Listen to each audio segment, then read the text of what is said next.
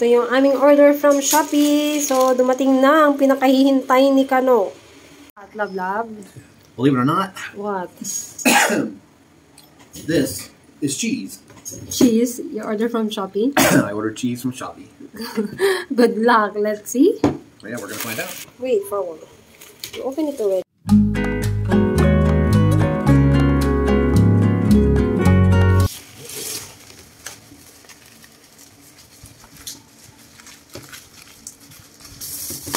No need.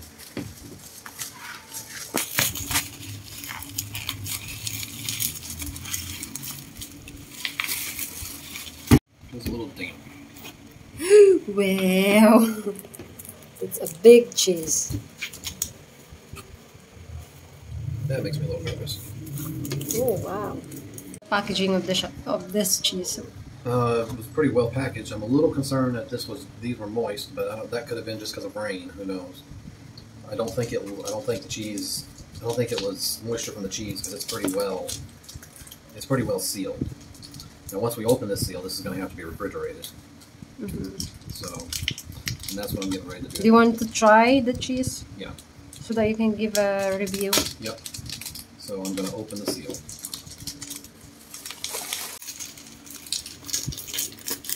We're going to have to use Ziploc bags to put this in and only freeze some of it if it's any good. If it's if it's no good, we'll probably be giving it away.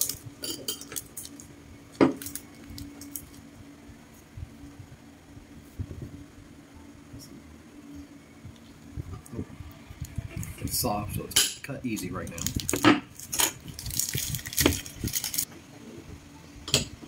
I'm not getting my hopes up just from the way it feels.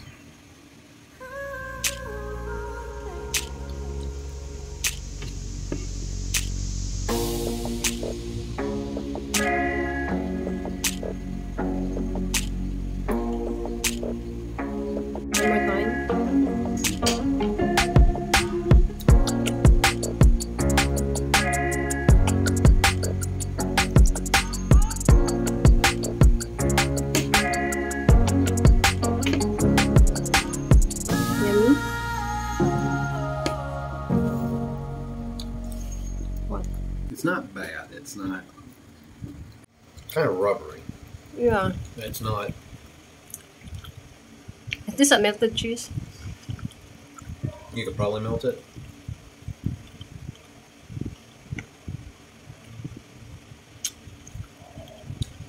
I'll say this much: it's better than Cheese Boy,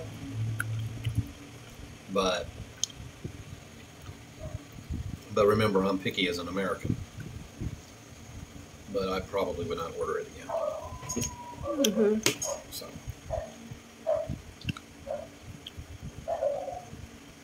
But it's also kind of warm, so we'll see how it tastes when, When it's cold. when it's cold. Yeah. But right now, on a scale of 1 to 10, I'd give it about a 3.5. Okay, bye. Bye. Good morning, guys. Happy. What day today? Today is Friday. Yeah. Happy Friday. Ayan, so nag-almusal na kami, guys.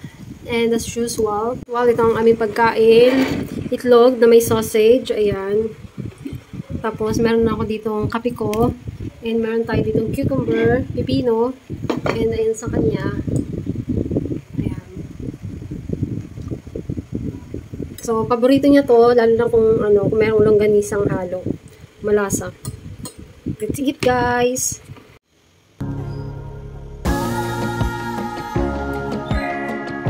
Where's daddy? Huh? Where'd daddy go?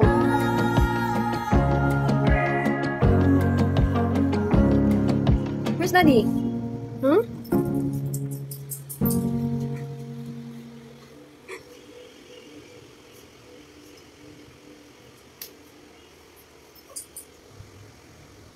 Yeah, to try. Yeah, daddy's back. Yeah, daddy's back. Yeah, daddy's back. I'm back. Yeah.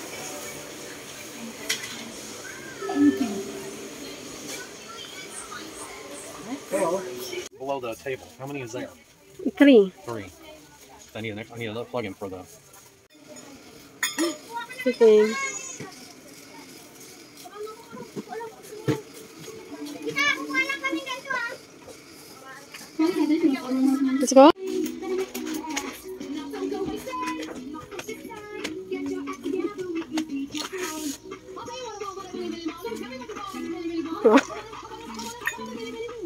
You didn't think I could do it. she's here, she's here. Narinig yung boses. Narinig yung boses mo.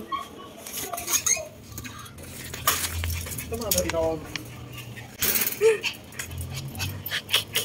Good girl. Look, Dad. Strip off the, Good girl. the biohazard stuff. What did you do? Mm, Kisses, daddy. So, nagpunta kaming Lamart, guys. Diyan lang to, malapit lang to sa amin. Nilakad lang namin and bumili kami to Alia. Ayan, mura nito, 89 pesos. Pero syempre, hindi siya fiber. Pero okay lang. Gusto ni Kano kasi mura. 89 pesos to Alia. Tapos, bumili rin kami ng cutting board. 111 pesos. Then, bumili kami ng kumot, blanket. Ito ay tag 110 pesos. Oh, hindi, 169 pala. 169 pesos. So, 169 pesos. Kasi taglamig na guys, malamig sa gabi. Eh, manipis, sobrang nipis and maiksi. Yung, yung kumot ko ay maiksi, hindi kasya si Kano. So, ito, binilan ko siya. Ay, bin, binilan niya para sa sarili niya. So, bumili siya ng mas malaki. And, binilan namin ng kainan yung aso. Ito ay 79 pesos. Look, Casey! Casey, look, look, look! Wow! Link to your uh, grocery shopping. Ooh, itong aming tanghalian ngayon. Gulay, broccoli, and, and chicken na air fryer. Tayo guys, ito yung aming tanghalian ngayon.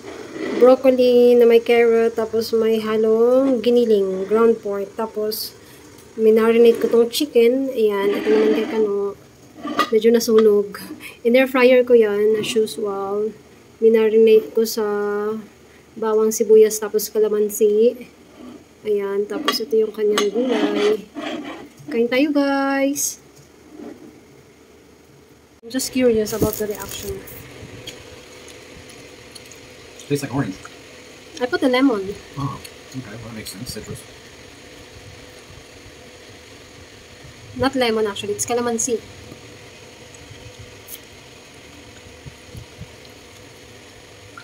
Good? Mm-hmm.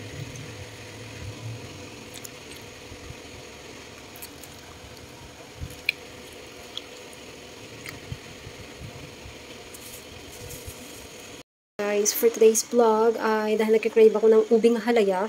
Ayan, so, naisipan kong gumawa ng ubing halaya pero low carb siya, pang low carb na proseso. So, para makakain din si Kano. Ayan, so, ganito yung aking ingredients. Itong aking ingredients, um, gagamit ako ng coconut flour. Tapos, ito yung gagamitin kong pang, ano, pang, pang palagkit. Para siyang glutinous. Ito yon So, in-order ko lang to guys sa Shopee. Search nyo na lang yan dyan sa Shopee kung gusto nyo gumawa din ng ganito. Ayan, tapos, yan, granola. Ito yung shop niya sa granola. Kasi ito din yung shop niya. Sa Shopee yan guys, binili ko. Tapos, gagamit ako ng coconut cream. Tapos, gagamit ako ng cheese. Tapos, ubi, ubi flavor. Ayan, so, ayan. So, babalitaan ko na lang kayo guys. Lagyan ko ng cheese. Ayan. Medyo malapit na. Siya guys. Ito yung finished product. And ito yung kakainin ko ngayon. Ayan. Ito ng kulay. Cheese yan guys. Cheddar cheese.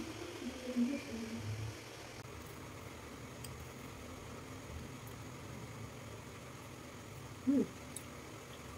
Hmm.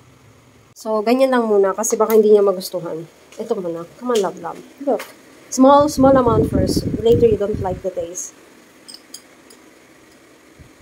How do you eat it? It's like, no, you're gonna cut it. Like this? Yeah. It's like an ice cream. I like the color.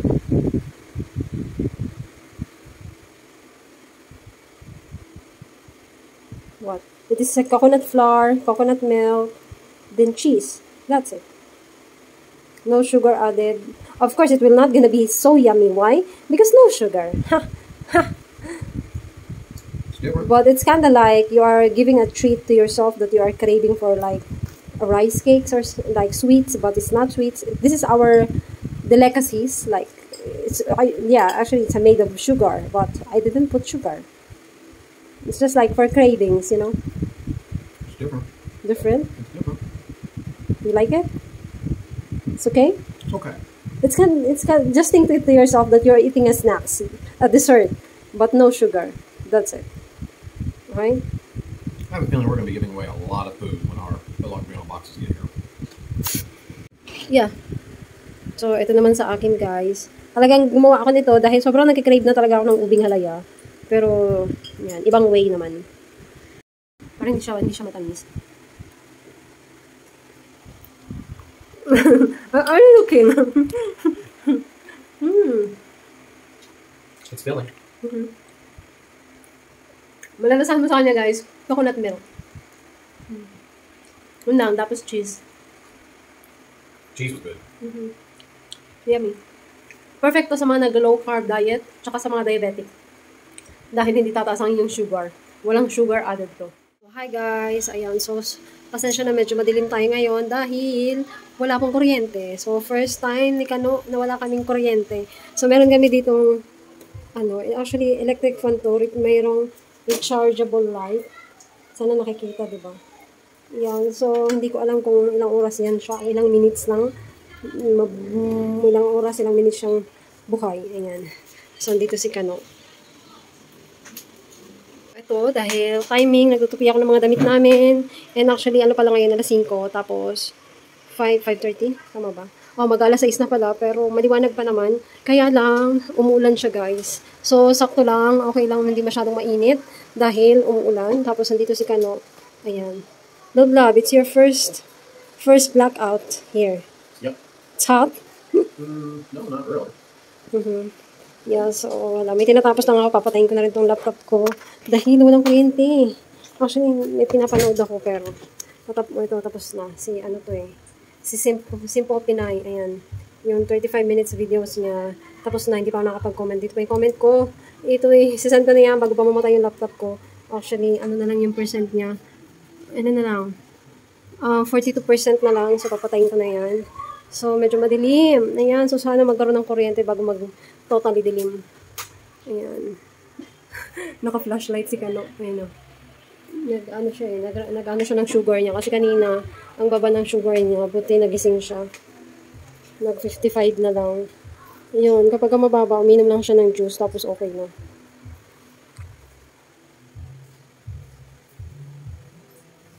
It's the result. 79. Still low. Yeah, but it 79 is like the absolute minimum of being okay, Okay. which is why I'm feeling a little weak. I'm, I'm probably need to I'm gonna finish the rest of that juice. Okay. Diyan guys, don't you worry. So, ito yung aming almusal.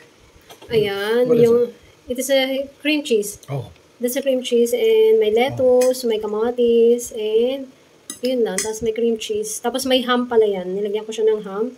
In-slice ko ng maliliit. So, ito naman yung sa akin. Yan. Tapos, syempre, meron tayo dyan kape sa gilid. Ito, oh, in-slice ko yung ham. So, ganito yan, guys. Ganyan, oh. Pinalaman ni Kano yung ham. It's flying. Sorry. There's a light. Kain tayo, guys. Kain. Wala kaming kuryente kagabi. I think madaling araw na nagkaroon ng kuryente. Ang lakas kasi ng ulan. Hmm. Yummy. yummy, yummy, yummy.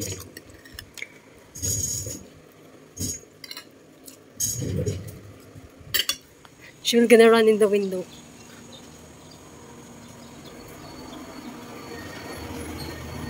Starting.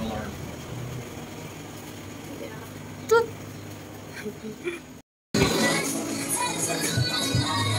What you got?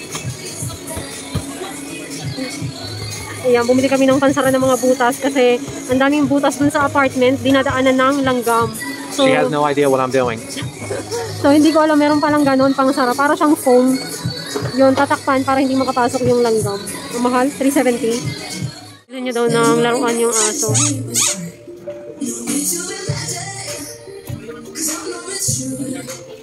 They say all good boys go to heaven, but bad boys bring heaven to you. It's all a matter Normally doesn't, she normally doesn't play with rubber toys, but She might gonna chew that toy.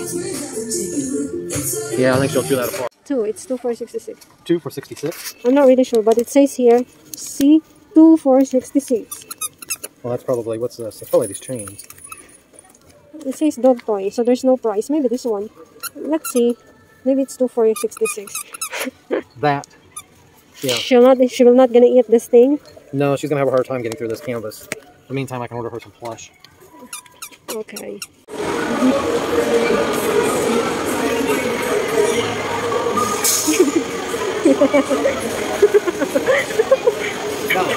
No, no, no, no, no,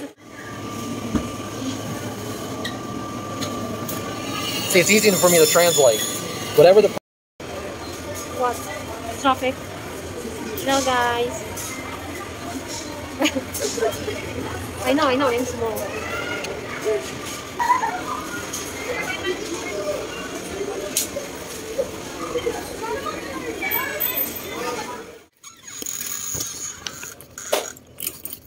You're waiting at the window, huh?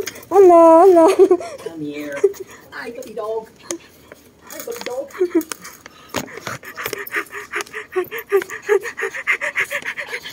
You're waiting at the window. I saw you. Okay. Let's go inside. Come on. Come on, come on, come on. Come on. What is that? Oh, she's. Come here. No, no, no, not that toy. Not that toy. Casey. Daddy, Daddy bought you a toy. Come on. Where's that? Oh, it's here. Casey. Casey. Look. Wow. Casey, look what I got. Look what I got. And guess what?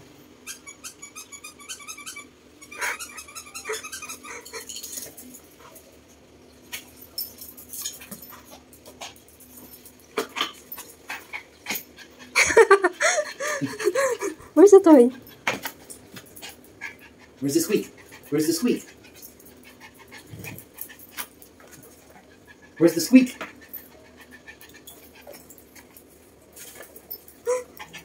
Got to find the squeak. Where's the squeak? Where's the squeak? Where's the squeak? ano? Show me, show me. Kain tayo tanghalian guys. Actually, nasa bahay na kami and nakalimutan ko mag-hold.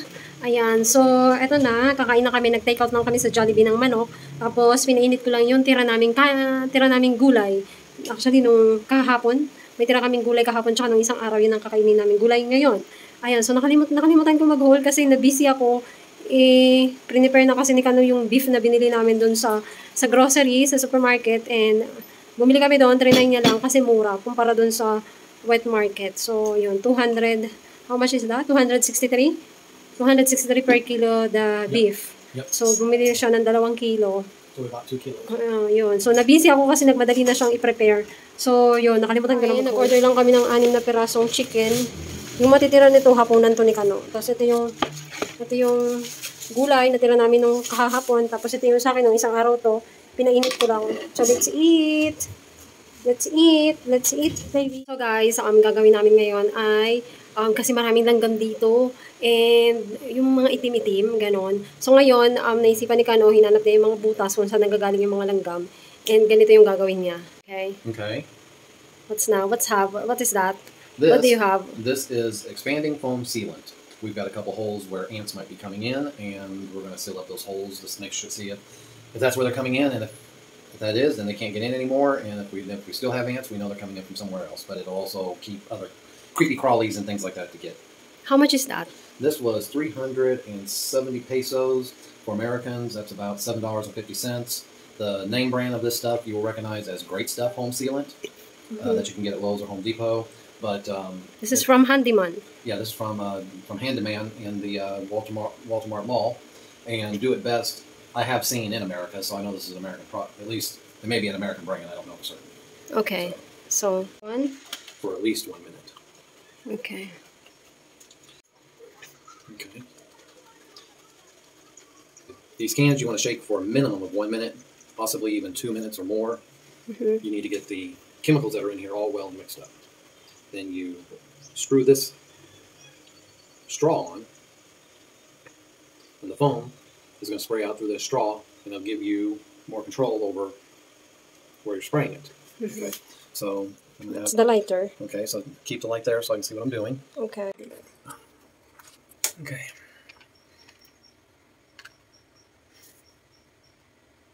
Oh my god.